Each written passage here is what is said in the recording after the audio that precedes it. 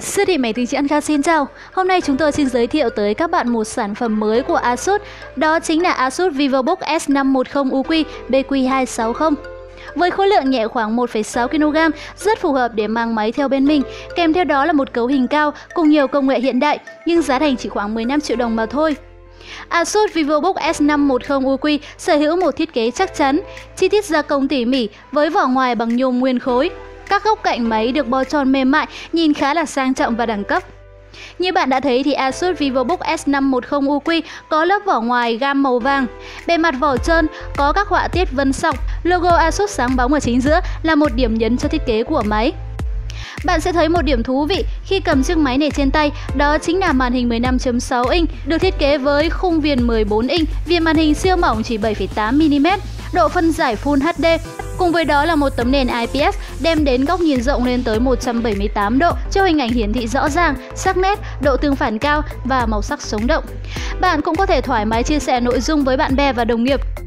Bàn phím có thiết kế chắc chắn, có đèn nền ở phía dưới, khoảng cách giữa các phím hợp lý và độ nảy tốt giúp người dùng có những trải nghiệm tốt hơn khi chơi game hoặc làm việc. Bề mặt touchpad rộng rãi, tích hợp những công nghệ mới nhất của Asus cho phép người dùng thao tác dễ dàng, nhanh chóng và chính xác. Tuy nhiên khi nhấn hai phím chuột trái phải lại phát ra tiếng kêu nhẹ. Mặt đáy máy cũng được làm bằng nhôm, một viên pin 3 cell cho thời gian sử dụng đến 8 tiếng đồng hồ với các công việc văn phòng. Bốn góc có 4 chân đỡ giúp máy được chắc chắn khi làm việc.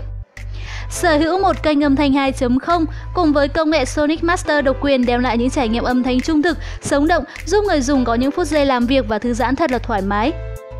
Asus VivoBook S510 UQ hỗ trợ các cổng kết nối cần thiết cho bạn. Ở cạnh trái chúng ta sẽ có hai cổng USB 2.0 và một khe cắm thẻ nhớ SD. Bên cạnh phải thì bạn sẽ thấy một cổng cắm nguồn, một USB 3.0 cho tốc độ cao. Tiếp đến là cổng HDMI để bạn kết nối với một màn hình lớn.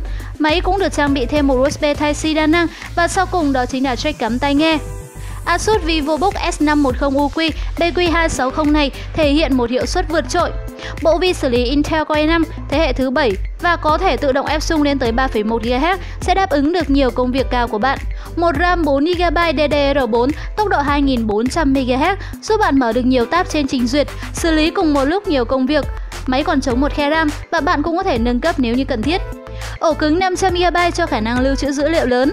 Bộ xử lý đồ họa Nvidia GeForce 940MX giúp mang lại hình ảnh siêu mịn với những trải nghiệm game tuyệt vời. Và nhờ vào hiệu suất cao đã tạo nên sự linh hoạt và đẳng cấp cho dòng laptop này. Như vậy chỉ với 15 triệu đồng thì bạn đã có thể sở hữu một chiếc laptop với cấu hình mạnh mẽ, công nghệ tiên tiến, thiết kế nhỏ gọn, tiện lợi, đáp ứng được hầu hết mọi nhu cầu công việc lẫn giải trí. Và trên đây là những thông tin cơ bản về sản phẩm. Để biết thêm thông tin chi tiết, bạn có thể vui lòng truy cập vào website ankhang.vn hoặc tới địa chỉ 210 Thái Hà để được tư vấn trực tiếp. Xin chào và hẹn gặp lại!